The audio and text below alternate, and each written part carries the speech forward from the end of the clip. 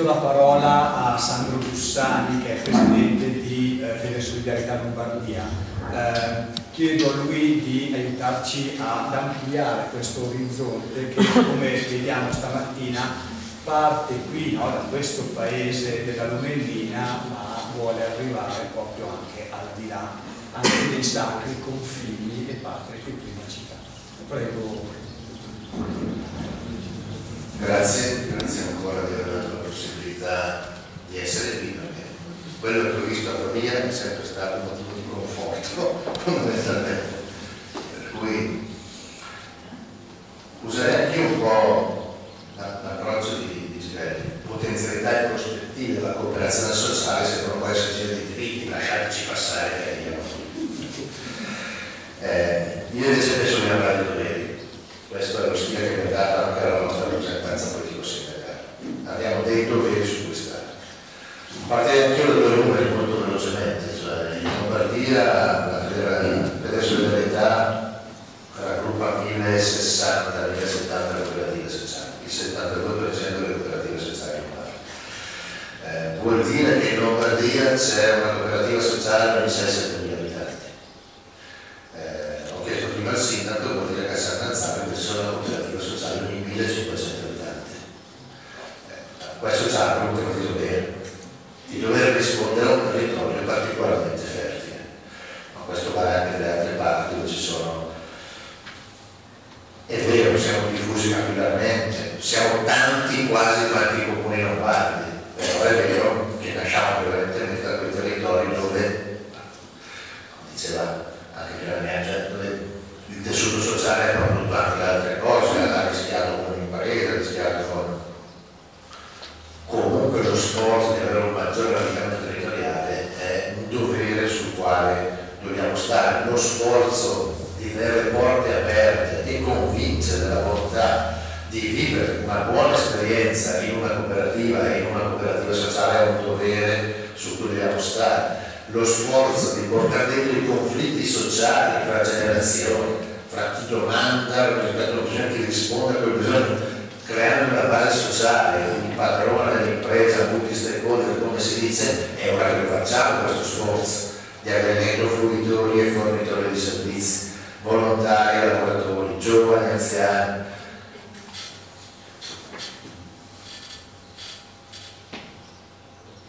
Un dovere da parte della cooperazione, della cooperazione sociale, ma anche un'attenzione che va posta a queste cooperative sociali. Eh, è venuto sentendo i vari interventi il discorso del reddito di queste cooperative. Queste tre cooperative, come sapete, come sapete cioè, eh, non possono distribuire il, la, la marginalità.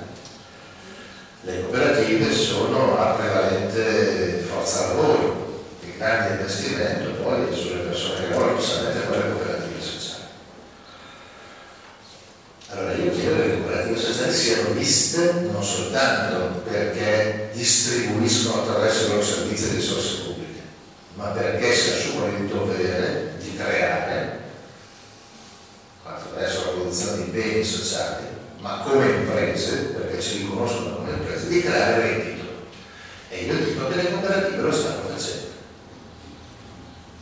creano reddito nel momento in cui coinvolgono in modo strutturato e organizzato forze per tutti i volontariati. Creano reddito nel momento in cui sanno intercettare finanziamenti vari dal fundraising alla presentazione europea. Creano reddito nel momento in cui sanno integrarsi tra cooperative, agenti economie di scala. Creano reddito nel momento in cui sanno, attraverso i giovani che entrano al servizio civile o come professionisti, sanno mettere questi giovani in un processo di elaborazione culturale, quindi sono cittadini attivi che poi partecipano alla loro collettività, creano reddito, qualcuno diceva che costruiscono conoscenza, costruiscono conoscenza. Ma che sia un caso che Macarini è nel mondo della cooperazione. Creano reddito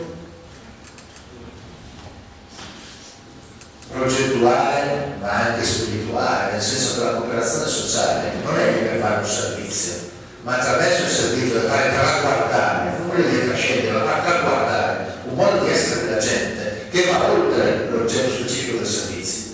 un modo di essere diverso. Creano reddito perché creano un luogo dove si può amare il lavoro, perché creano bisogno di buon lavoro. Creano reddito perché più di altre imprese sanno agire la conciliazione dei tempi, quanti part-time, quanta... Creano reddito perché sono incubatori di idee, diceva qualcuno creano reddito perché hanno sempre saputo nel welfare lombardo prevenire i bisogni e costruire risposte che solo dopo poi sono diventate norma, standard, accreditamenti e quant'altro. Creano reddito perché la cooperativa di San Lazzaro può accedere a tutto il know-how della cooperazione italiana. La cooperativa di San, le la cooperativa di Pavina, ma la singola cooperativa può se vuole, per fare alcuni esempi, eh, andare a chiedere fondazione nazionale costruita da dei cooperatori, dei cooperatori e dei preti, è una, che si chiama Talenti, non a caso si chiama Talenti, può andare a chiedere un intervento per mettere assieme una famiglia di religiosi che non riescono più a portare avanti la loro vocazione la vocazione del bene che stanno presidiando, ma ritengono che quel bene sia stato storicamente espresso di quella comunità, quindi non lo vogliono smettere. La cooperazione sociale, che sa fare interventi sociali, è un finanziatore che sa dare lo startup.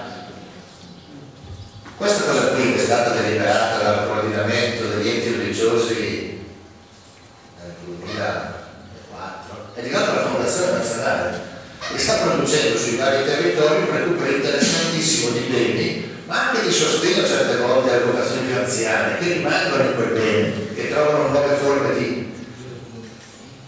La pura cooperativa di San Lazzaro può, se vuole, accedere a una grande franchise nazionale che si chiama FAM, faccio alcuni esempi, dove ci sono dentro, COP Cooperative, CDO, Lega Co, ancora una banca, e via delle famiglie possiamo aiutarci assieme al fatto che lui ha creato una logica cooperativa a creare risposte di esaurimento sul territorio. Un domani io penso che una cooperativa di Sennanzaro, un po' con le sue famiglie, con redditi con sempre minore capacità d'acquisto, con collegamenti a rete con una grande cooperativa sociale lombarda, che è l'Istituto Stomatologico di Milano, che è una cooperativa di fine 800.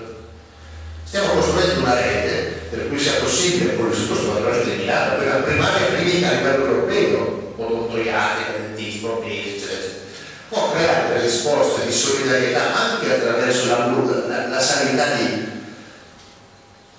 Allora, se un comune invece che mettere a bando la sentenza iniziale di 17 euro, la mette a bando 20, quei 3 euro non sono una spesa, sono un investimento, ragazzi perché quei 3 euro diventano quella marginalità che permette di ottenere tutte queste cose qua. E io sono stufo che però l'ente pubblico le ottenga soltanto caricandosi di duro lavoro di dirigente delle cooperative, tenendo bassi i livelli contrattuali dei quadri.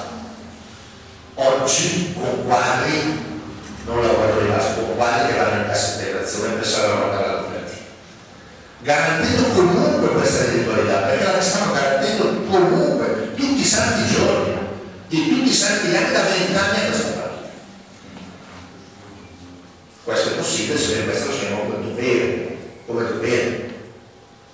Se invece pensiamo che la mia cooperativa è buona di per sé, per cui cavalco qualsiasi onda, mi piego a qualsiasi ventata di neocentralismo, eh, non in termini politici, ma di, ma di recupero del bene pubblico, del bene sociale del bene pubblico. E quindi poi alla fine mi a progettare più niente. E come un dirigente di una società municipalizzata di Mantova ha detto, in fondo che imprenditore siete, l'unica leva che avete